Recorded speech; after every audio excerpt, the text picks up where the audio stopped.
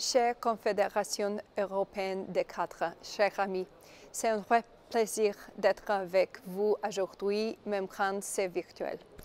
J'espère que vous vous verrez bientôt, et vrai. Félicitations pour le 70e anniversaire de votre organisation. And congratulations also to Maxime on his election as president and to the entire newly elected board and organization. As CEC Manager celebrates its 17th anniversary and we begin transition out of the pandemic, I'm sure that your leadership will bring new ideas, energy, and optimism to the organization. Another process that is currently going on, which would benefit from your bright ideas, energy, and optimism, is the Conference of the Future of Europe. This is the largest democratic exercise at EU level that we have ever seen.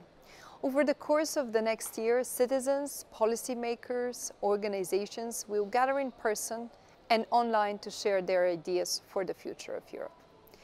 As an MEP, and president of the European Movement International, I have been meeting and talking with plenty of citizens, not only from my constituency, but from all over Europe.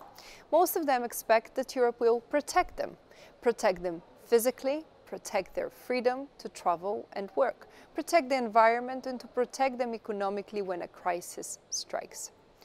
If you ask any entrepreneur in Europe, they will tell you that they expect the EU to provide more investment for their business and infrastructure, something that you all are definitely very familiar with.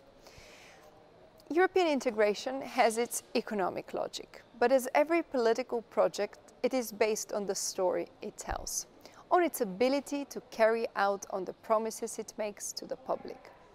So the story behind EU nowadays is that it solves problems that single member states are unable to do and to solve. If no one believes that this is true, it does not matter how many technical standards we harmonize or resolutions we adopt. The Conference on the Future of Europe will be either a catalyst for deep changes in how the EU functions or it will be a moment of steep decline in trust and legitimacy of the EU. So we find ourselves at this critical point where we need more participation. We need higher interest and more involvement in the conference. And as managers and CEOs, you're uniquely positioned to contribute to that and to lead this discussion. So I highly and warmly encourage you all to talk to your companies, talk to your co-workers, attend events, get involved through the digital platform and share your view.